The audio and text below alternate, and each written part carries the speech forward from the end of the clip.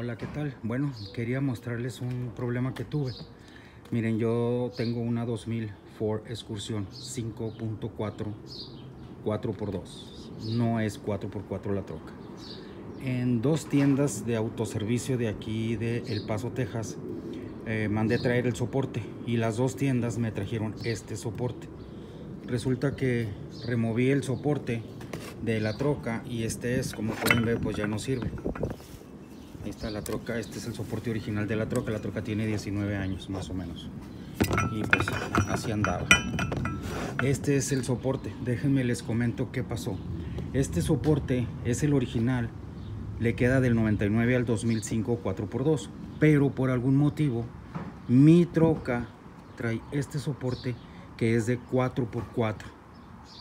Tengan cuidado, 4x4 es el soporte que llevó la 2000 Ford Excursión y no es 4x4 la troca.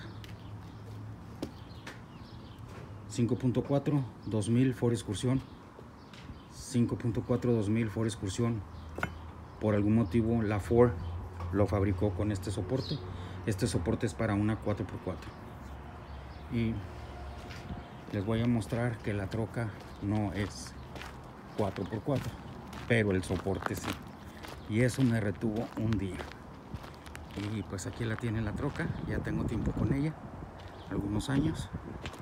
Y pues aquí pueden ver no es 4x4 es la suspensión de horquilla que se llama. Y el motivo también eh, quería mostrarles que metí frenos nuevos torneamos los discos hace como tres o cuatro veces que torneo los discos así que tengo esta troca. Y déjenme les muestro cómo salieron los discos porque la troca dos a tres días después empezó a vibrar igual el volante. Eh, obviamente me dijeron que revisara los discos de atrás también esta trae discos atrás.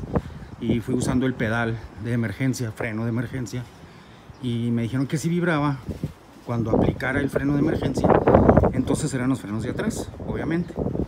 Entonces pues no no hizo nada de ese movimiento. Quitamos los discos y como pueden ver los discos tienen manchas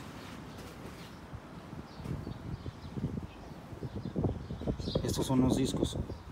Estos discos tienen una semana. Ahí los tienen.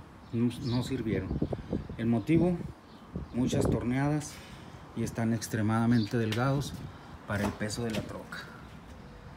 Por según los torneros agarró una, una, una lanita los tornearon no importando el gruesor y me los volvieron a regresar pues obviamente de frenos yo no sé mucho sé quitar y poner eso es todo pero pues mandé traer los frenos los discos nuevos y balatas nuevas otra vez.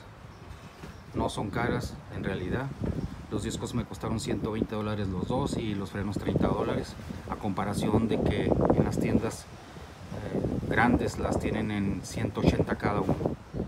Y volvemos la troca no es 4x4 suerte no ahorren dinero compren las partes que son realmente y se ahorran después tiempo y trabajo. Buen día gracias por ver este video y ahí seguimos